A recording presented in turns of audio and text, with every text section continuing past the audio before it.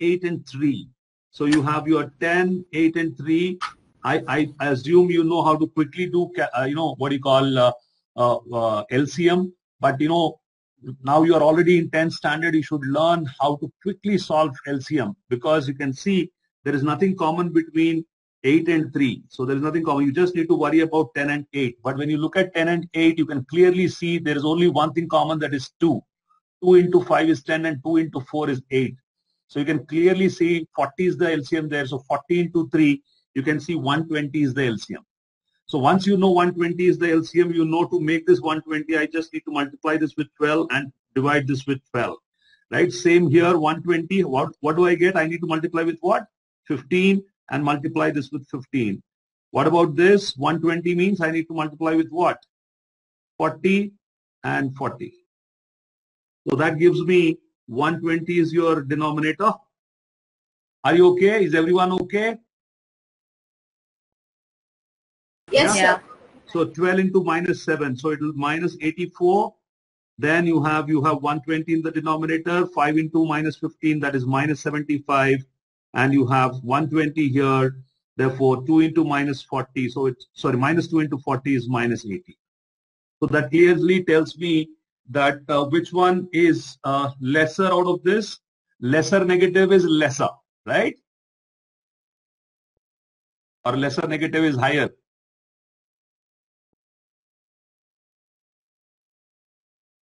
Mm, lesser negative is higher. That means uh, this will be the highest, right? So you will write the highest number on this side. So what is this?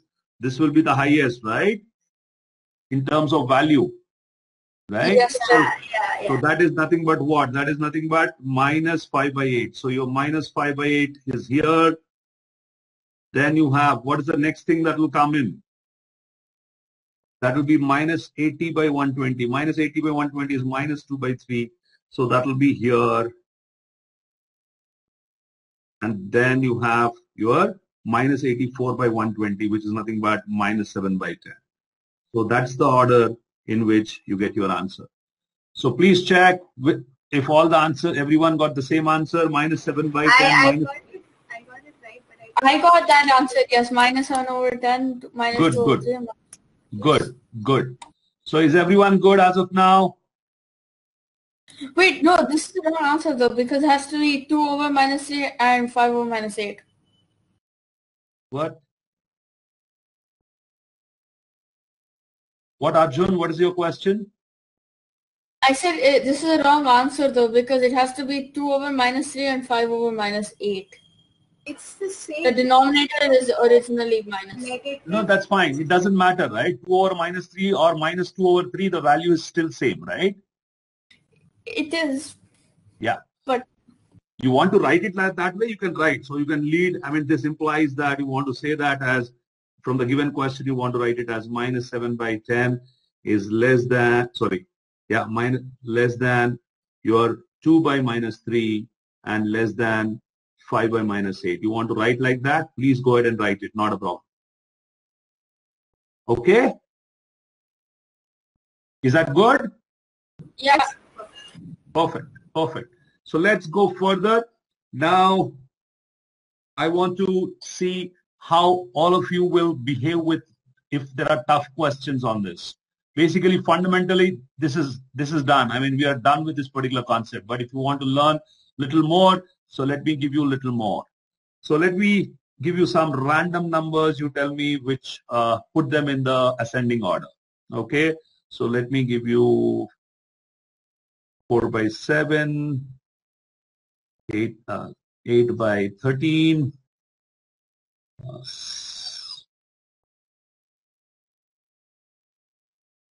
6 by 11. Yeah, calculate which of which one is greater. I mean, put them in the ascending order. Put these three numbers in the ascending order. 4 by 7, 8 by 13, 6 by 11. Uh, for Indian exams, there is this, this number is interesting, 1000. Basically, that's multiplication of 7 into 11 into 13. You know 7, 13 or prime numbers. So you see a number like 1001, the, your, your, your, your bell should be ringing. That is, should immediately get to know that it's multiple of 7, 11, and 13. This is something that you can remember in your lifetime. Yeah, good. So go ahead, Kirtana. And I did it in like the next usual step. So, So the next step is what you did is you multiply uh, 4 by 7. You know that you multiplied this with, uh, you know, 11 into 13 in the denominator and multiplied with 11 into 13 in the numerator, right? So yes, you got the common denominator as 1001 and uh, you calculated. What is the numerator that you got for 4? 4 into 3, 12, 12 into 11, so 132, right? Kirtana, go ahead. It's not 132, it's 572. No, sorry, sorry, sorry, sorry. 11 into 13. I'm sorry, I'm sorry. Yeah, what's the number? 572. Sure, 572. 572. Very good. 572. So you got 572 here. And what about the second one? 616. How much? 616. 616. 616. And what about the third one? Uh, 546. 546 Okay. So fr- from here, what did you get now? You know that, of course, this is the highest and this is the second highest. So you know this is the second highest and this is the third highest. So you will start from this. So you know 6 by 11 is less than your uh, 572, which is 4 by 7. And that should be less than um, 8 by 8 by 13. 8 by 30. Perfect. Okay. So do you want to learn any faster method than this? Yes, sir. Yes, Brilliant. please. Yes. Okay, so let's learn the faster way of solving this. Okay, good. All of you concentrate now. When you're solving, now concentrate. So now this is a very interesting way to do it. You know, whenever you have something like this, say for example, in this question you have, let me take a different method now. Your problem is 4 by 7, 8 by 13, and you have 6 by 11. Okay, so what happens is generally when you do by, so whatever method that I'm teaching you is once again, it's an arithmetic process method only, but I am doing it little differently. So I want you to concentrate, understand. Okay. Now, I don't want to put all the, so here, so, you know, before even I go there, so let me, let me explain this with a easier example first, then we'll come back. Okay. So let me go to the first problem that we did in this process. What was the first question that we did? We try to check which is greater, 2 by 3 or 3 by 5. Correct? Yes or no? Yes. Right? So we wanted to check 2 by 3 or 3 by 5. Uh, Okay? So now you can observe here, what did we do? We multiplied this 3 with 5 and this 5 with 3. So basically, if you observe, what we are doing is we are just multiplying the denominators. So if you observe, we are actually doing 5 into 2, 10 there, 3 into 3, 9 there. So you can see I am multiplying the denominator of this fraction with that number and this fraction with that number. So basically 5 into 2, 10. You can see I got 10 here. On the right hand side, 3 into 3, I got 9 there. You can see I got 9 out there. So then we are saying that 10 is greater than 9. So 10 is greater than 9. Therefore, we are saying that 2 by 3 is greater than 3 by 5. Can you see that process what we did just now? What I'm trying to tell you here is we are not doing any LCM. We are doing just cross multiplication.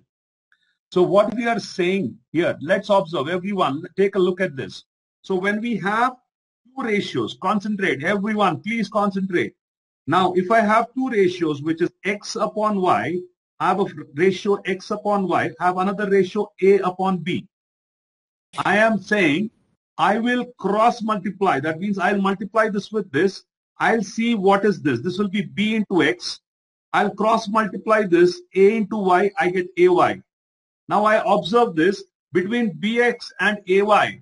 If bx is greater than ay, that means this side of the ratio is greater for me. Therefore, I'll immediately say that x by y is greater than a by b. How many of you understood what I said? If you understood, mention yes in the chat box. So it's basic cross multiplication. That's how you find out. Correct, correct. Hold, hold. What I'm saying, I'm, I'm asking how many of you understood what I taught you just now. Just mention yes in the chat box quickly. Wonderful, Kirtana. Wonderful, wonderful, wonderful. So if you understood this, if you understood this, you can see in this problem also, if you look at, you had another problem which we did. The problem was you had 7 by 15, you had 7 by 15, let me use a different pen here, 7 by 15, and you had to check with 4 by 9. So I am saying, I'll just do the cross math, 9 fours are, 9 sevens are 63, 15 fours are 60. Then I immediately see the number on the left is greater, that means your 7 by 15 is greater. That's my answer. No problem, Akshar. No problem. How many of you understood this method very clearly in your head? If, if you have not understood, stop me here right away, right away. Hmm, I learned this in sixth grade and I totally forgot about it because I never knew I had to learn it again. no problem. But if you learn how this is to be done, then, you know, if you understand the approach, then you will never forget this. Yes, that's sir. what, yeah, that's what I'm trying to teach you here. Okay, let's get back to the question now. Let's get back to the question. Now, when I look at these two, so first I quickly compare the first and the second because it's easy for me to compare. But, but sir, 13 this is kind of different, here because they're prime, like prime number. So because of no, it's it's not only about prime. I am saying any situation of uh, three or more variables when we have, it's easier to check like this, and it is faster. Let me let me quickly understand. Sir? Make you yeah. Akshat wants you to re- um, repeat what you did. Oh, okay. No problem. No problem. No problem. Akshat. Okay. Okay. Okay. Let me take one more example, Akshat. Then you will understand what I'm saying. Let me take an example of, I want to compare two ratios, say 3 by 5 and say uh, 7 by 13. Okay. Now, basically I'm saying instead of actually what do we do? We do, we take the LCM and we were doing, we'll multiply this with 13 and this also with 13 we multiply this with 5 and this also with 5 and say that this is 13 threes 39 by 65 and this we say 7 fives are 35 by 65. Now when we do this we realize that this is greater therefore we know that 3 by 5 is greater than 7 by 13. This is the method that we learned in arithmetic process didn't we? Yes, this is what Yes, we learned. Now what I'm saying is instead of doing that, the new method that I'm trying to explain is if I have a ratio 3 by 5 and 7 by 13, what I'm trying to tell you is just cross multiply. Cross multiply, matlab just multiply the denominator on the right hand side with this numerator. So you are just multiplying this 13 threes are 39, 5 sevens are 35. By doing that, what you're doing is you're you're checking the numerators now because you know you're making the denominator common by just multiplying like this, you're making the denominator common. So you're just get, getting to your numerator quickly. So that it's easy to compare and say that 39 is greater than 35. Therefore, your 3 by 5 is greater. That is the method. Okay. Akshat, if you still don't understand, don't worry. You can watch this video separately once again. Okay. So now if I explain you more examples, you'll understand. Concentrate now. So when I look at 4 by 7 and 8 by 13, I can quickly see that 13 fours forza 13 forza this this way. I'm doing this way. 13 forza what is 13 forza 52 and i'm doing 7 8za 56 the moment i Is- see this which one is greater? 56 is greater. Therefore i know that 4 by 7 4 by 7 is less than 8 by 13 so i got the first one. Now the question is how do i get the next one? So now now it, you can you can compare. See whenever you have three numbers whenever you have three numbers you need not compare with everything. You can pick up any two. Now now i'll pick up these two now here. Now between 8 by 13 between 8 by 13 and 6 by 11 let's compare these two now. Sorry 6 by 11 okay? So can see how do I compare this quickly now? 11 8s are I can see when I'm comparing these two 11 8s are on this side is 88 13 6 are what is 13 6 are 6 10s are 60 6 3s are 18 60 plus 18 is 78 so which one is greater? Which one is greater? So I know 8 by 13 is greater. So I get to know that 8 by 13 is greater than 6 by 11 right so one thing is very clear that 8 by 11 is the highest, 8 by 13 is the highest. but now we still not figured out the relation between 4 by 7 and 6 by 11. Right? So, now what is the relation? So now what's the relation between 4 by 7 and 6 by 11? That is also not difficult. Just take a look. We have 4 by 7 and 6 by 11. I'm explaining so it's taking time, but trust me, this is a very easy problem. Now you can 44 and 42. This is 44 and this is 7 6 is 42. Which is greater? 4 by 7 is greater. So that 47, means yes. So you now know that 8 by 13 is the highest and the one little less than that is 4 by 7. And No. uh, yes. Is it and 6 your- by 11? No, no, no, 4 by 7 is greater. Yes, Yeah. right. Then you have your 6 by 11 and that's how you can decide the answer.